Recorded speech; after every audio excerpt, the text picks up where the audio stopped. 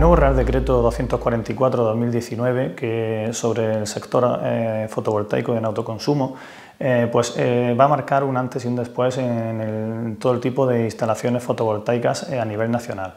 Las principales claves que tiene este nuevo Real Decreto, que lo diferencian de la normativa que había hasta la fecha, principalmente es la eliminación de los peajes y cargos, un sistema simplificado de compensación de excedentes, eh, el autoconsumo colectivo que permite a varios usuarios poder eh, abastecerse de esa, producción de energía.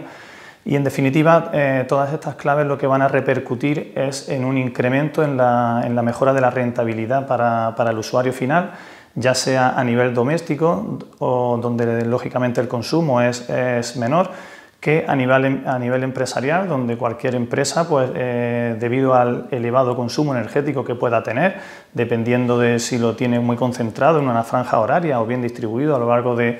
todos los meses del año, pues eh, con este tipo de instalaciones, eh, sin tener que independizarse totalmente de la red eléctrica, podrá producir una parte de su energía eléctrica a través de su autoconsumo y de esta manera pues, eh, podrá ah, tener un, importante ahorro ya que dejará de, abastecerse sobre la red eléctrica de una parte importante eh, de consumo que sí se va a poder abastecer a través de su propia generación de, energía.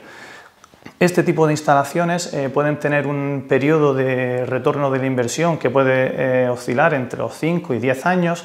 eh, como decíamos, a nivel doméstico sí puede, el retorno puede estar en torno a los 7-10 años aproximadamente y a nivel eh, empresarial, debido a que el consumo es mayor, se puede ver reducido ese plazo hasta un periodo de unos 5, 6, 7 años, dependiendo de cómo se concentre ese, consumo.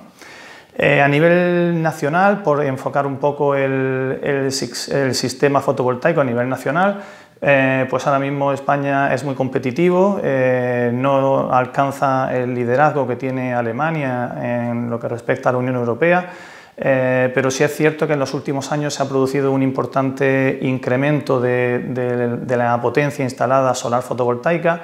y sobre todo eh, la previsión eh, de cara al horizonte 2030 eh, pues de pasar desde los 5.600 megavatios que hay instalados aproximadamente actualmente hasta llegar a más de 35.000 en ese horizonte 2030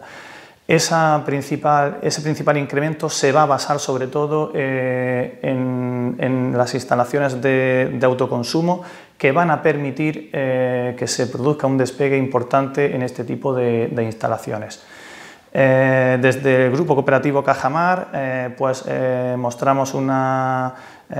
amparo a este tipo de, normativas y lo que hemos hecho es sacar una línea de financiación específica para apoyar este tipo de, inversiones,